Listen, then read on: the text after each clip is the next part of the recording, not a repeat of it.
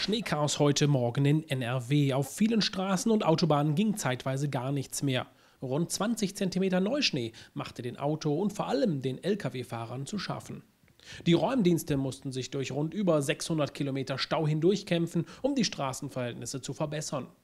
Auf der A4 in Fahrtrichtung Olpe mussten die Auffahrten teilweise gesperrt werden, weil Feuerwehr und Polizei damit beschäftigt waren, festgefahrene LKWs zu befreien.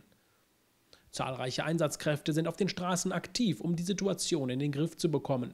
In der Nacht sind weitere Schneefälle für NRW angekündigt, sodass auch am Morgen wieder mit erheblichen Behinderungen auf den Straßen zu rechnen ist. Die Einsatzkräfte von Feuerwehr und Polizei rechnen jetzt schon mit weiteren witterungsbedingten Einsätzen.